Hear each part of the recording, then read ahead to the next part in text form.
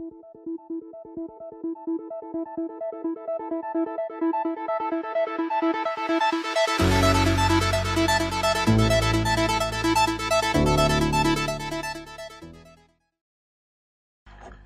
everyone, in this quick video I'll be showing you how to fix the problem of missing camera from your laptop.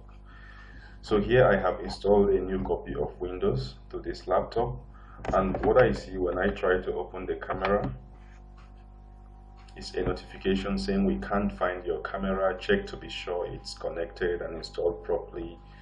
It isn't being blocked by antivirus software and all that. So there are two possible reasons for this. First, it could be a hardware problem and it could also be a software problem. It could be that the actual camera hardware component is faulty and so can't be recognized by the laptop.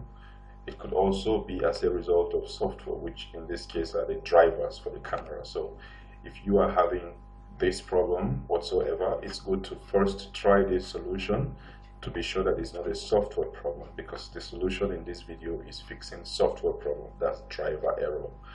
But then if it's a hardware problem then you might need to change your camera. So first you close this window then go to your search and type device manager open your device manager and search for imaging devices so here you pull the drop down and then you see your HP webcam VGA, right click on it and say uninstall device.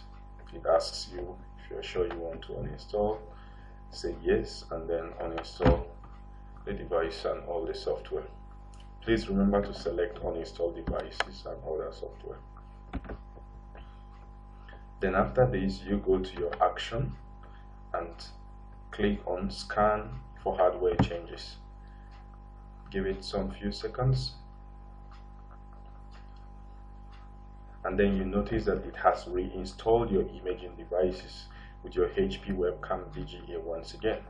So after this you now go back and launch your camera.